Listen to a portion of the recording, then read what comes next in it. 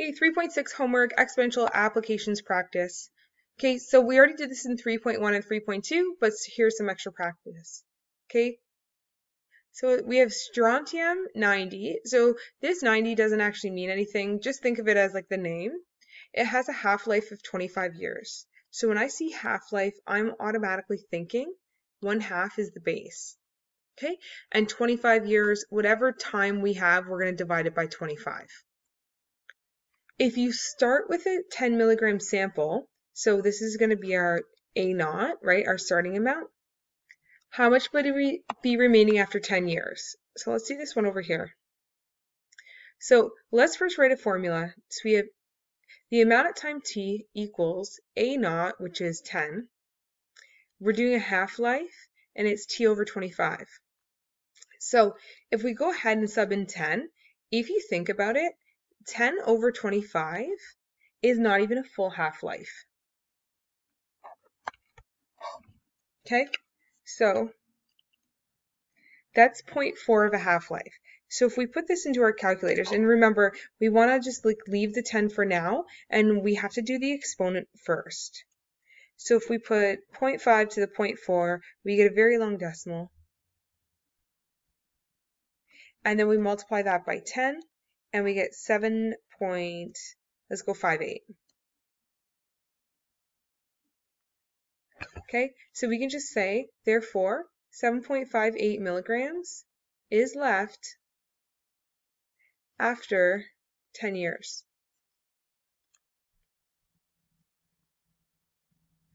Okay, number two, the doubling period. So when I see doubling, I think B equals 2 of a bacteria culture is 15 minutes. So whatever our time is, we're going to divide it by 15 minutes to represent how many doubling periods has the initial cost, count of uh, 5,000 bacteria. So that's our A naught.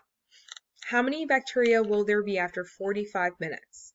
Okay, so for A, we're going to go amount of time T equals A naught times, oh, it's doubling, uh, to the T over 15. So if we do the amount at time 45, well, we know that there are there are three 15 minute blocks in 45 minutes. So if we were to divide 45 divided by 15, that's 3. So 2 to the 3 is just 8. And then that times 5,000 is 40,000.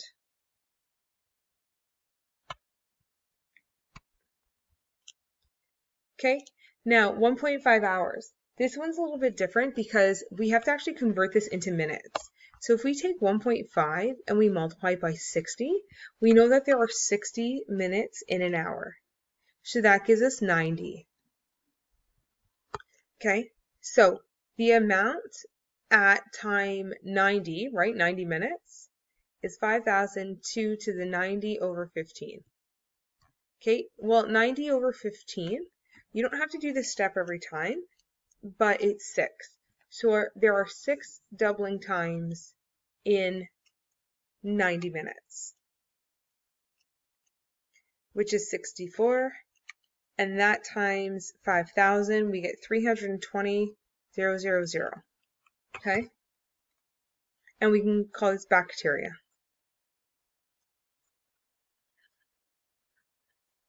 Okay, therefore, there are 40,000 bacteria after 45 minutes.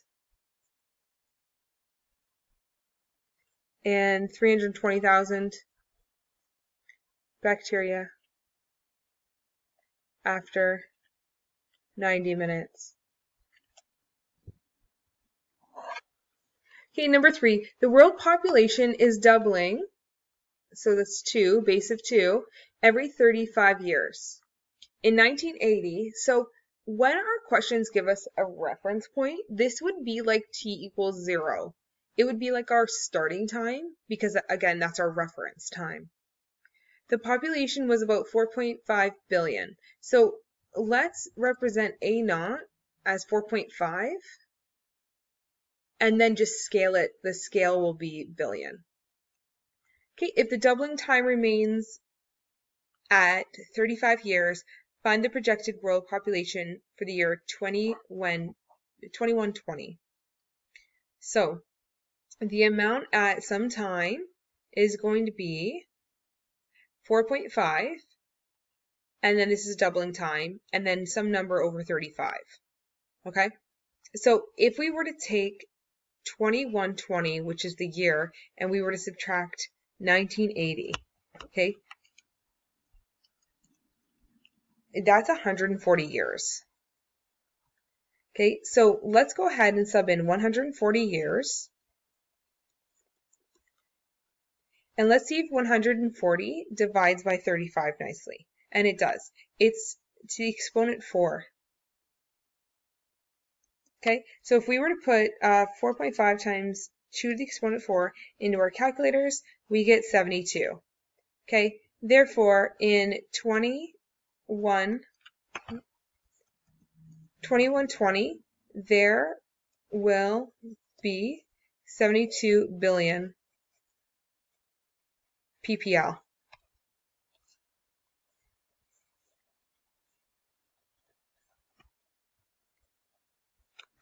Okay, number four, Cobalt 57. Again, the 57 doesn't have anything to do with uh, numbers that we need. We just need that it's cobalt.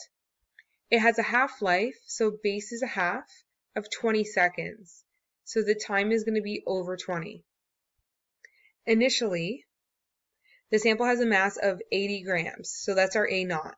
How much of the sample is remaining after two minutes? So if we were to convert two minutes into seconds, we'd have to multiply that by 60, and we get 120 seconds.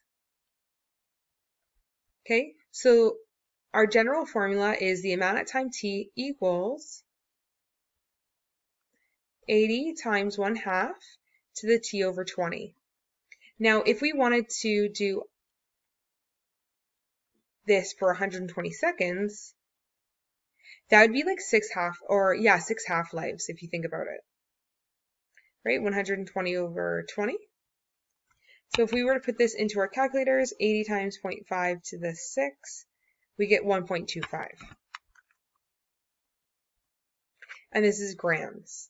Okay, therefore there are 1.25 grams left after two minutes.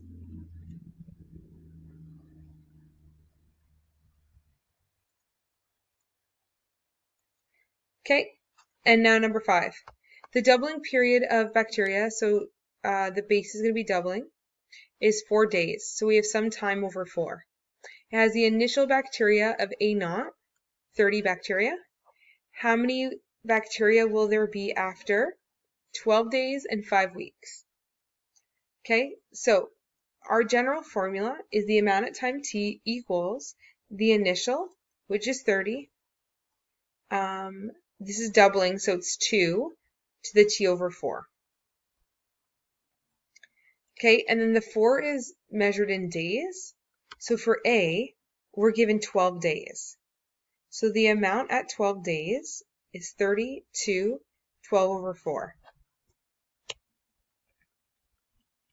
Okay, that means that there's three doubling periods. So I get 240. 30 times 2 times 2 times 2. Okay, and what about five weeks? Well, one week is seven days. So we have to multiply 5 by 7. So this is 35 days. So B asks for the amount after 35 days. Okay, so that's not going to be um, a nice integer number. 35 divided by 4 is going to be 8.75, which is fine. We go 30 times 2 to the 8.75. And we get 12, 9, 16. Going back up here, we're talking about bacteria. We're just going to round for this one. And this is measured, oh, is measured in bacteria. Okay, so we can just say therefore, um, there will be